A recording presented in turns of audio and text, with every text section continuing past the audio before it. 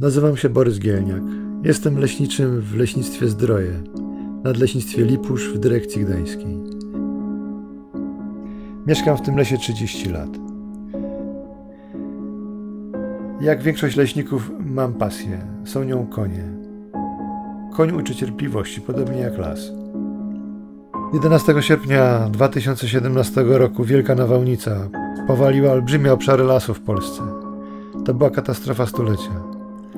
U nas w Nadleśnictwie Lipusz powaliła 180 km2 lasu. To jest jakieś 2 trzecie powierzchni Gdańska. Wywróciła drzewa, po których chodziły moje dzieci. 27 lat pracy jako leśniczy poszło z wiatrem. Zostaliśmy nadleśnictwem klęskowym. Parę innych nadleśnictw w naszej dyrekcji też ucierpiało. Takie nadleśnictwa jak Kościerzyna, Kartuzy, Cewice, Lubichowo, Strzebielino. Rano w sobotę 12, jak wszyscy, przeżyłem szok. Zobaczyłem, że nie ma nic, że widzę budynek sąsiada, którego normalnie nie widziałem. Prawie godzinę zabrało mi przejście jednego kilometra do szosy krajowej. Szosą zacząłem iść na zachód i widziałem coraz większe pole zniszczeń. Tym czasie opłakiwałem mój las, bo, bo to tak jakby bliska osoba odeszła. Jeszcze przez wiele miesięcy każdy wyjazd do lasu sprawiał ból. Leśniczówka nie ucierpiała. Mieliśmy dużo szczęścia, bo parę kilometrów dalej w Nakli latały dachy, latały cegły, turlało baloty słomy po polu.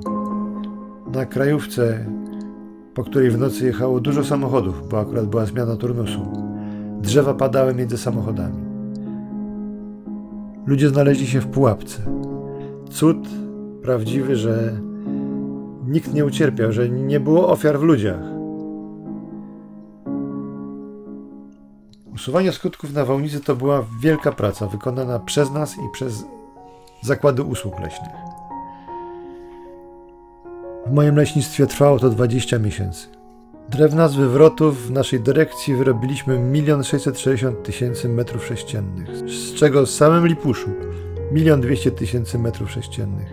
To jest jakieś 43 tysiące ciężarówek. Przy normalnej pracy wycięcie takiej ilości drewna zabrałoby nam 15 lat.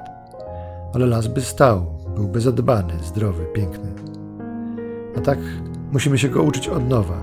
Musimy go zasadzić od nowa. I musimy go wypielęgnować i wyprowadzić na piękne drągowiny i później starodrzew. To będzie trwało wiele, wiele lat. Mam nadzieję, że częściowo również zasieje się sam. Dlatego wykonujemy orkę pod stojącymi jeszcze y, starymi drzewami, które będą się obsiewać. Myślę, że za kilkanaście lat przyjdę tutaj na kurki.